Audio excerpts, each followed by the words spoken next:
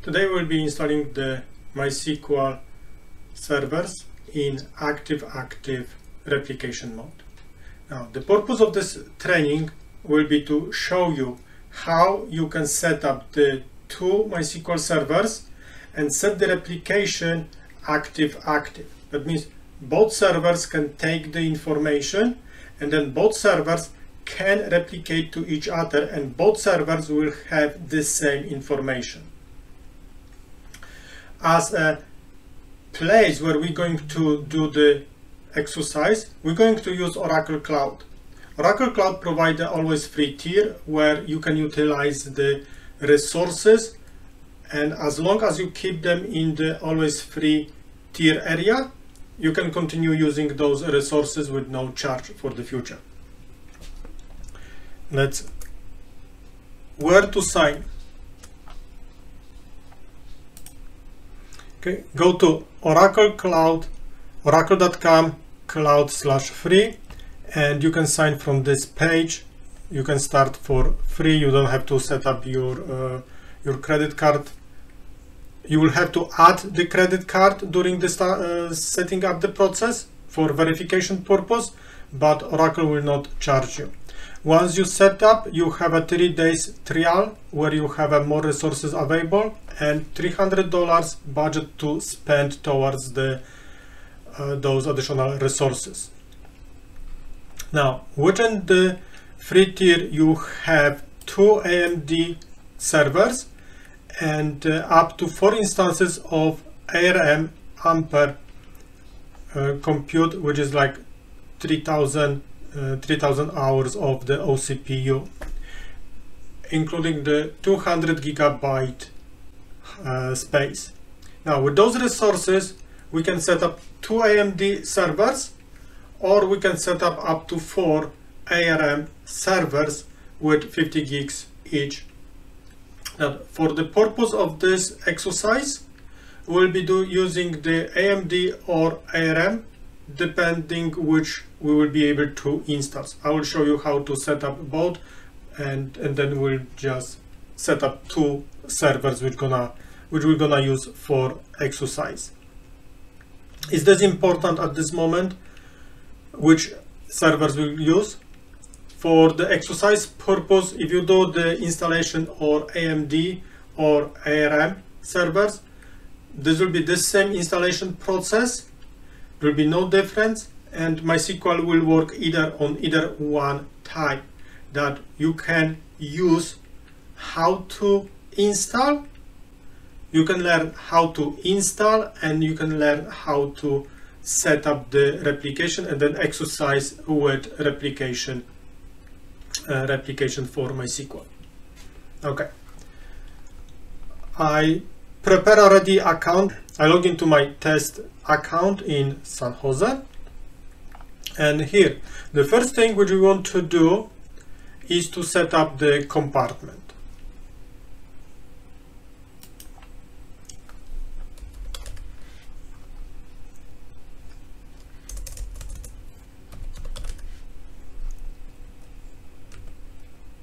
compartments.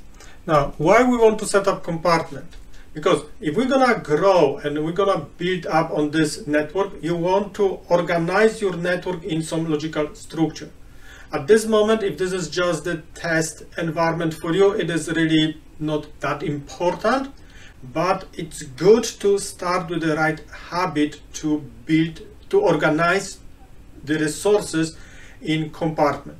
Compartment is the logical area where you can group the resources. That, for example, you can have the compartment uh, R&D, development, QA, production. And in each compartment, compartment will be isolated. Whatever is uh, resources you have within this compartment will be not related to the resources which you have in the another compartment.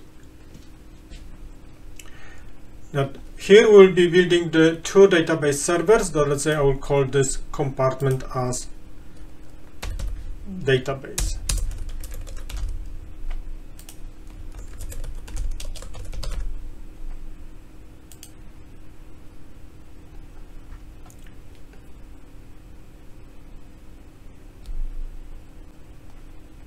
okay it will take the let's refresh our page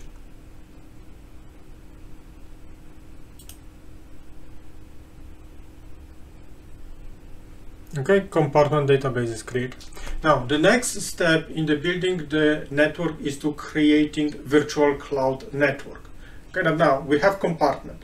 Now within this compartment we have to set virtual cloud network. Within that virtual cloud network will in will add the servers. Now virtual cloud network will create for us the network infrastructure which will set the IP address of the network will set the routing rules, security rules, and from the virtual cloud network, you will be able to manage and configure network layer and connectivity to the servers and from the servers to outside. To going to to set up the virtual cloud network, we're going to networking, virtual cloud networks.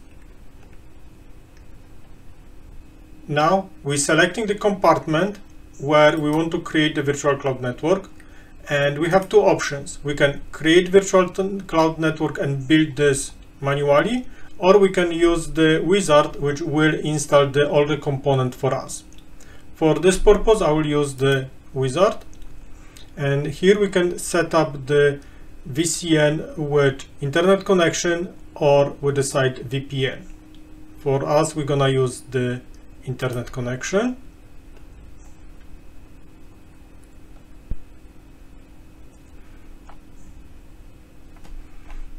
Okay, the message on the tab will show you if you have available resources. If you have a brand new account, then you will create in the first VCN. Now, VCN name, I'm gonna call this VCN database, compartment database, and my CIDR, I will put 1010 5.0 slash 24. Configure the public network. I'm gonna put 1010 5.0 slash 27. Slash 27 has 32 hosts. I will have just two hosts in this subnet that those two database servers will be sitting in the public network. And configure the private subnet 1010 532 slash 27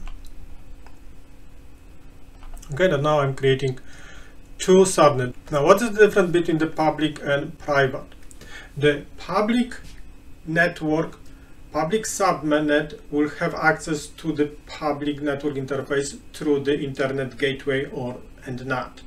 That means if you if we will have an internet gateway, we will be able to communicate down to the servers through the public IP. The private network, the private network is the private.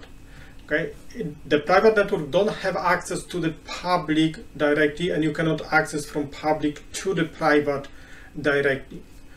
You, the private network are completely isolated. To going to public, going to outside, you have to use the uh, NAT gateway.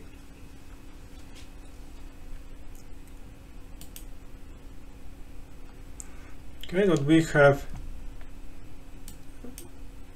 configured. Okay, what we will have it, we'll have an internet gateway setup, security list setup and the routing table okay create.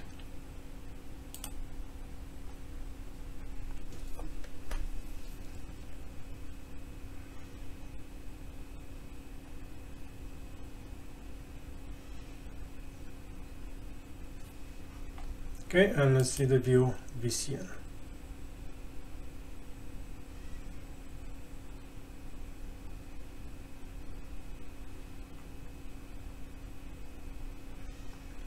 Okay, like I said, the process of creating the VCN, it's uh, quick using the wizard. It's creating all major components that you need. Uh, one digression here is that we don't have a NAT gateway and we don't have a service gateway. Uh, this account which I'm doing the demo is uh, after three days uh, trial period when you will be creating your network which in first 30 days you will have a NAT gateway and service gateway. In some situations, I see that after 30 days or 60 days, the NAT gateway or service gateway is reclaimed back from uh, Oracle and it's removed from my network. That's why I'm not relying in the, when I'm using the always free tier, I do not rely in the configuration on the NAT gateway and service gateway. That's why everything will set using the public subnet and internet gateway. That our servers will have a public IP. That for the purpose of this exercise, for the purpose of the setting up the learning and setting up the test environment, this is perfect uh, environment for us to exercise.